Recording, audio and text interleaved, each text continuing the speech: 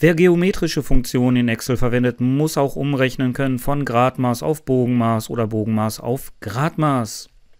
Und das liegt daran, da Excel standardmäßig mit dem Bogenmaß rechnet. Also wenn wir hier zum Beispiel einen Winkel von 45 Grad aufspannen und unser Vollkreis halt 360 Grad hat, na, dann würden wir von einem Winkel 45 Grad sprechen. Die Amerikaner sagen aber, oh, Moment mal, das ist doch hier ein Achtelkreis und wenn der Vollumfang, ne, 2 mal Pi mal R, R ist 1, wenn der also hier entsprechend nur ein Achtel hat, ein Achtel von dem Kreis, dann ist das doch ein Viertel Pi.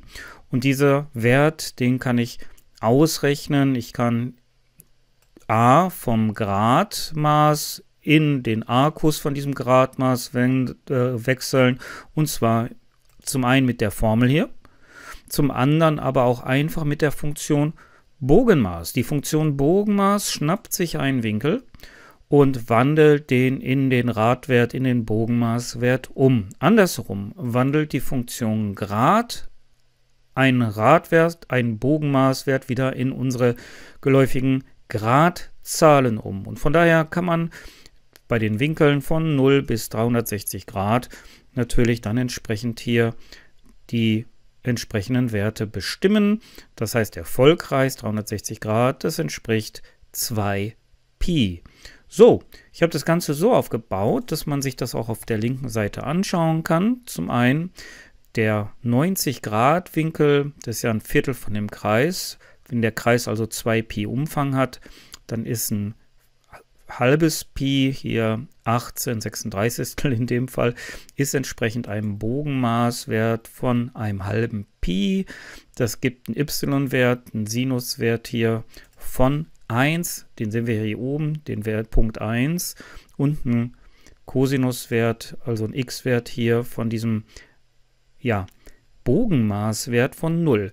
Die ganzen Funktionen, Sinus und Cosinus, die funktionieren halt mit dem Bogenmaßwert und möchte ich einen Wert wie hier, so einen Gradwert, hupsa, so einen Gradwert verwenden, muss ich halt erst den Wert in Bogenmaß umwandeln und dafür ist die Funktion Bogenmaß gedacht.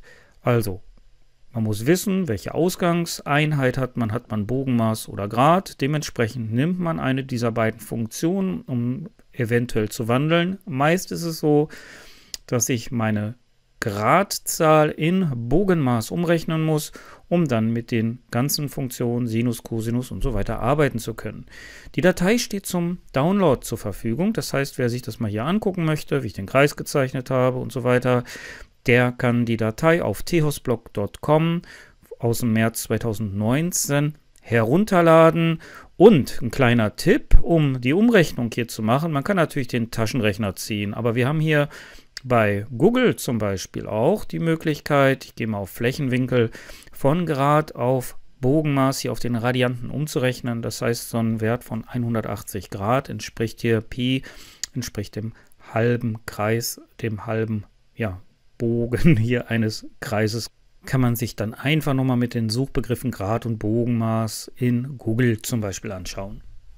Wenn es euch gefallen hat, weitergebracht hat, freue ich mich natürlich über einen entsprechenden Kommentar, über den Daumen nach oben und unten rechts schaut mal, da ist eine kleine Glocke. Wer da drauf klickt, wird auch über neue Videos informiert.